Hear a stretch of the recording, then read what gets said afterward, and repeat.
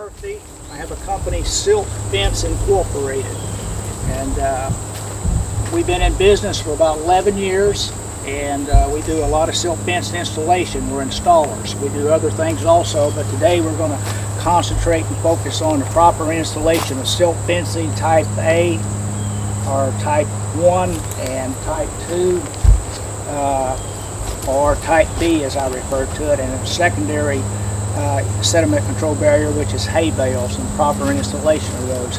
Due to the timing that we have to do this, we've already set up a section of each one of these here and uh, I'll talk with you uh, a little bit about that uh, installation.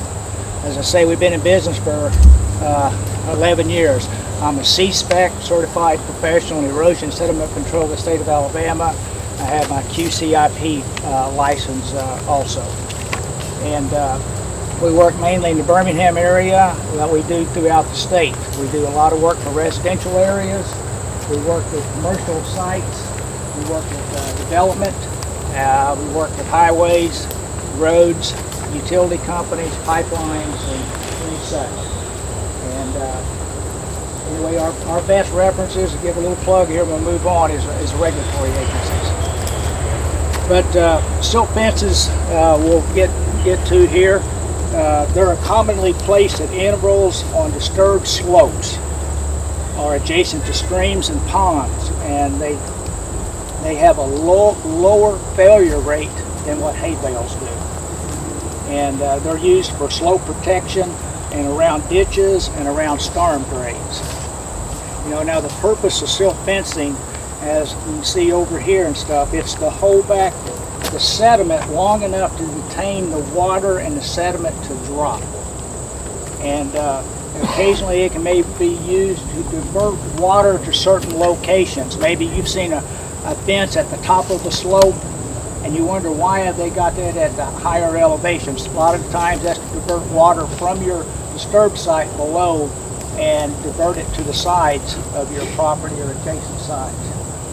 And at the, at the least, silt fence should maintain or hold the, the large particles back long enough to, to keep them off, to keep them on your site and out of the streets and the drains, drains and the clean water. Uh, virtually is these fences, we pick a good location of where it should be on the property. A lot of times, you know, it's, it's near the perimeter of the property if you're doing a, a residential site.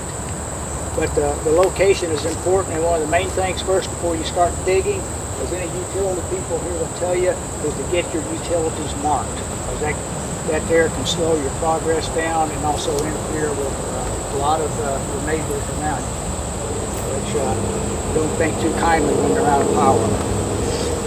But uh, this here fence here is what we call a uh, type B fence or a class 2 fence. It's a standard fence that's used a lot on res residential sites. And uh, to start with, we dig a trench at least six inches in depth, which you can see here uh, as you walk by it. It's got to be at least six inches, and it's usually by the uh, cut of our trencher at six inches wide and uh, the poster drove into the ground to the level. There's a red line at the bottom here as there is at the top. We drive the post in the bottom of the ground till that red line is at the bottom of the uh, trench. And that way it's got a flap on it that you can turn that flap out that when you're backfilling it, you backfill over that flap. And that way it traps the water. The water can't go under the fence, it's got to go through the fence or it'll uh, uh, around it if you don't turn it up on the ends. And that's a lot of times you'll see that on properties. They'll have a straight line fence along the property, but it'll just hit the fence and run down the end of the fence and then out into the street.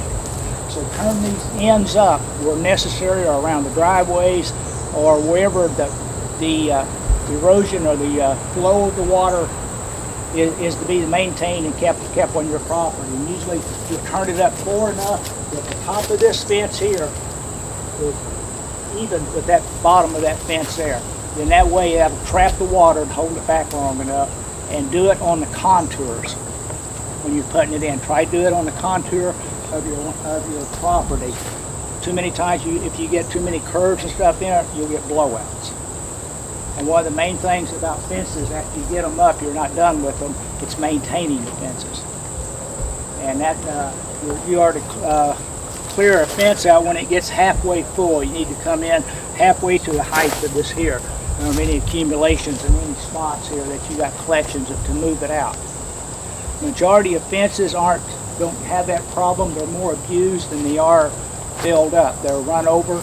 Uh, they are, uh, uh, use them, uh, or uh, they're abused uh, in in a lot of ways. So you pretty well got to stay on target with it and communicate it with a lot of your people that's working for you, or people in and in and on and out of your property and stuff for the purpose of the fences and stuff. The regulatory agencies are uh, are getting uh, more involved in, in this here as the years have been through. From the last we started in year 2000, there, there's a lot more emphasis placed on this uh, installations than uh, what they were when we first started.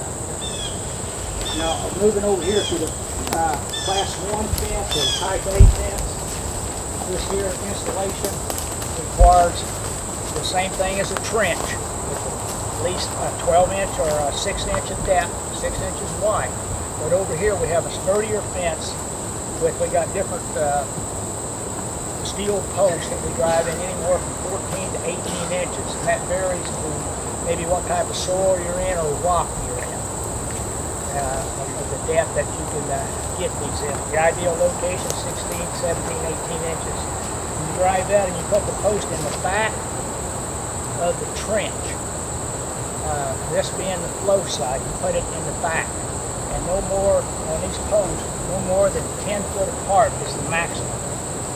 And after you get your post in no more than 10 foot apart, you attach a wire. See over here, there's a woven wire. It's either a 14 to 12 gauge wire. A lot of times a residential site is uh, 14 gauge, you get into other areas of uh, high pressure or intensities and stuff, 12 gauge is used.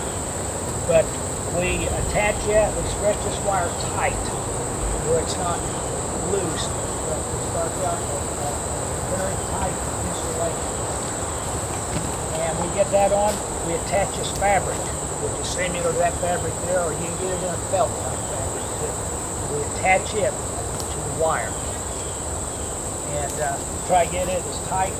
And I mean, take the time with it, you take your time and do it right the first time, will pay off for you.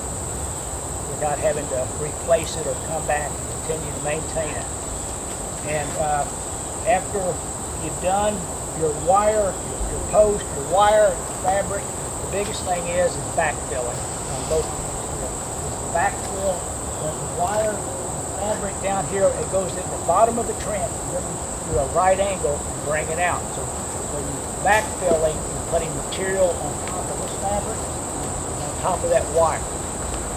That way it traps the water, that it can't go through it. It has to go through the fabric and not around it or under it. If it ever gets a chance to get under it, it'll continue to erode and it'll all disappear